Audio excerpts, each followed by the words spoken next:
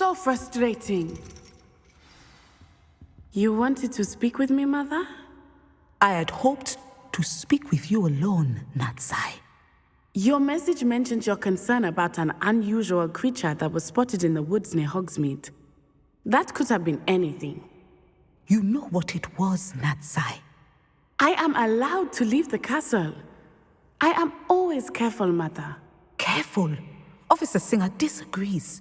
She sent me an owl telling me that you have been trying to collect evidence of some kind against dark wizards. She berated me for not keeping a closer eye on you, and she is right. I do not want you visiting Hogsmeade for the near future. But, Mother! My little gazelle, you are well intentioned, but you must not meddle in the affairs of dangerous people. If someone had meddled in Matabeleland, Father would still be with us.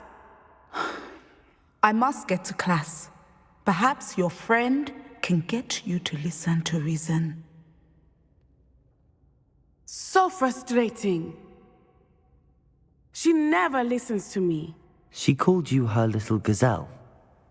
Is that a term of endearment where you're from? It is specific to me. I am the unusual creature in Hogsmeade she mentioned.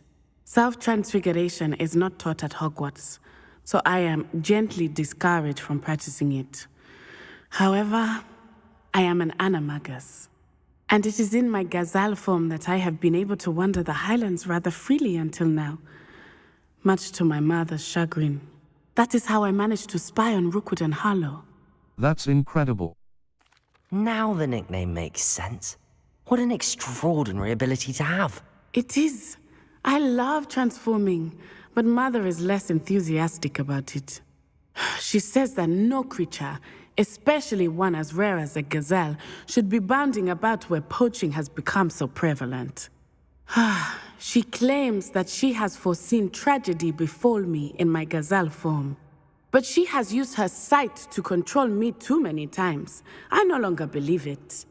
Perhaps your mother is right. She's concerned for your safety. It may be best for you to stay away from Hogsmeade for now. That may be safe, but I do not believe that it would be best. Do you? You could have fled the moment you discovered that Rookwood, Harlow, and Ranrock were after you, but you did not. I choose to act as you have. I must deal with Harlow, not hide from him. My mother cannot know where I am all the time. Thank you for being here during that rather awkward conversation.